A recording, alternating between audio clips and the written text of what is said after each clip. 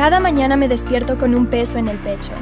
La ansiedad, mi compañera no deseada, me susurra al oído. ¿Y si todo sale mal hoy?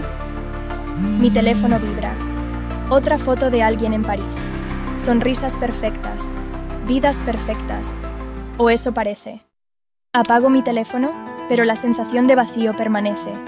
Trabajo, pareja, padres, sueños postergados. Todo se mezcla en un torbellino de debería y no puedo. ¿Cuándo se volvió todo tan complicado? Mis pies encuentran el ritmo sobre el asfalto.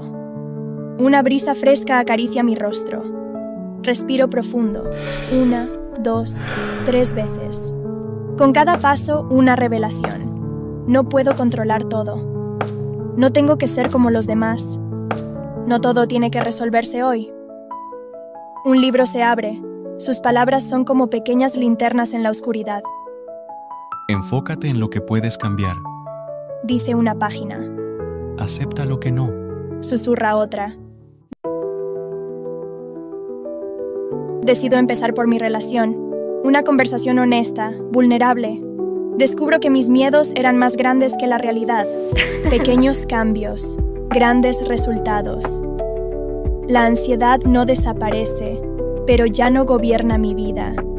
Miro mi reflejo. Veo a alguien que está aprendiendo, creciendo, viviendo. No es una vida perfecta, pero es auténticamente mía, y eso por ahora es más que suficiente.